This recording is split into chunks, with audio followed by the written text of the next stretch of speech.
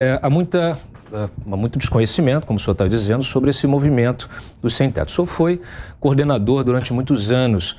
É, nós já vimos investigações do Ministério Público, já vimos denúncias na imprensa é, desse, é, de invasões que foram é, que são relacionadas com o crime organizado, que, na qual muitas vezes essas famílias que são absolutamente miseráveis, né? elas não têm acesso a nada, muitas vezes têm dificuldade até de, de se alimentar. E em muitas dessas, ou, é, dessas ocupações, dessas invasões, é, há denúncias de, de cobrança de, de aluguel. Né? Como se fosse assim, ó, o sujeito ocupou, mas está tendo que pagar um aluguel para umas lideranças desse, desse movimento, dessa ocupação, dessa invasão.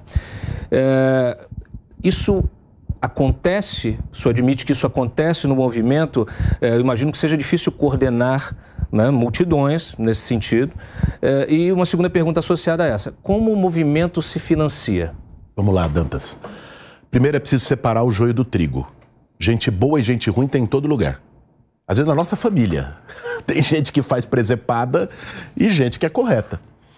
Então, eu posso te dizer com segurança porque conheço, porque atuei os 20 anos nessa área. É.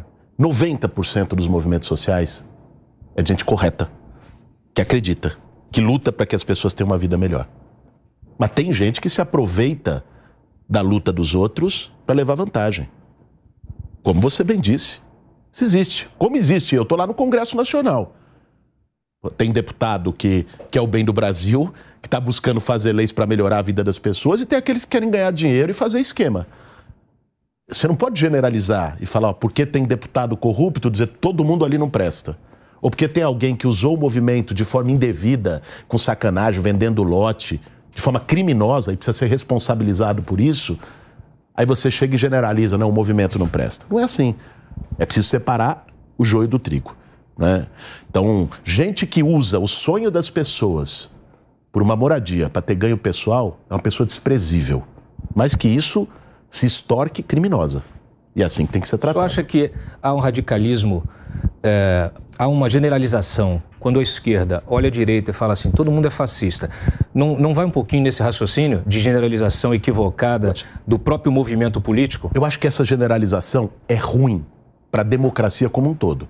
Seja quando a esquerda olha para a direita e diz todo mundo é fascista, porque não é. Seja quando a direita olha para a esquerda e diz todo mundo é corrupto, comunista, invasor de casa, não sei. Não. não. Não é assim. Eu acho que a gente tem que retomar no Brasil a condição de fazer um debate razoável, sensato. Discutir os temas, não ficar discutindo rótulo, não ficar discutindo caricatura. Isso é o que eu tento, tento fazer. Não é fácil, porque o ambiente está muito envenenado. Você chega na rede social, né? É, é, é, xingamento para todo lado. Vocês devem ouvir aqui como figuras públicas, jornalistas estão se manifestando. Se fala uma coisa que um não gosta, você falar uma coisa que a esquerda não gosta, você vira fascista. Se você falar uma coisa que o bolsonarista não gosta, você vai virar comunista no dia seguinte. Sim, nós precisamos botar a bola no chão e, e fazer o debate político ser menos raso, menos superficial no Brasil. É, o meu esforço é esse. Deputado, só rapidamente, mano, eu já vou passar para você, mas ele perguntou sobre financiamento. Financiamento. Não, importante.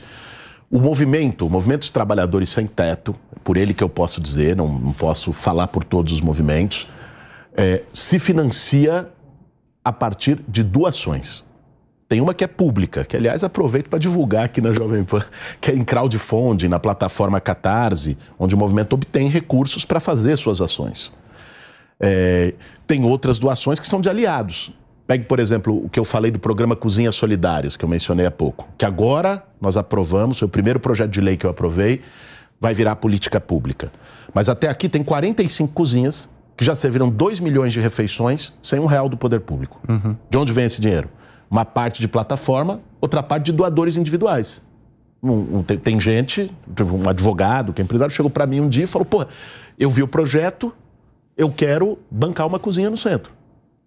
E ele sustenta com recurso próprio aquela cozinha. Tem pressão de conta, bota no imposto de renda dele, isso é declarado, tem a transparência pública e tudo mais. Então, o, o movimento se financia dessa maneira. Outra coisa é a produção de moradia.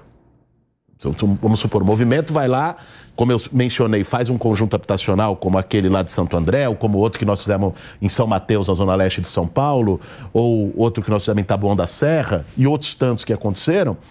Aí, uma entidade recebe o recurso para produzir a moradia, com toda a fiscalização de TCU, recebe na obra ou vai direto para a construtora que está executando a obra. Essa é a questão.